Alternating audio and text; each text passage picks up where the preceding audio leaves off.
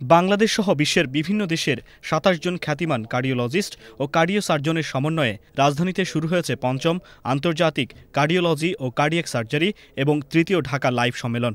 তিন দিনব্যাপী এই সম্মেলনের উদ্বোধন করেন বাংলাদেশ জাতীয় সংসদের স্পিকার ও CPA chairperson doctor Shirin Sharmin Chowdhury.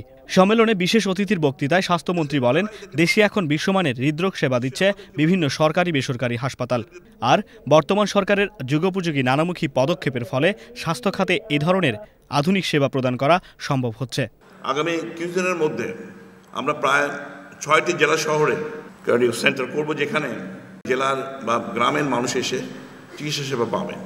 যারা বেসরকারি হাসপাতাল পরিচালনা করেন, একটু অনুরোধ আমি করব আপনাদের, সবসময় আমি এই কথা বলি। একটু চেষ্টা করবেন। আপনাদের চার্জগুলো কমানোর জন্য।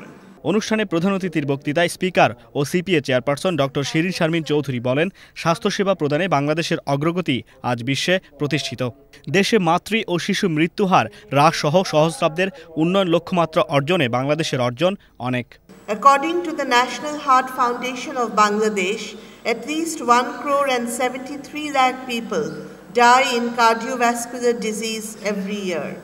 Among them, 80% are from the middle and small income group.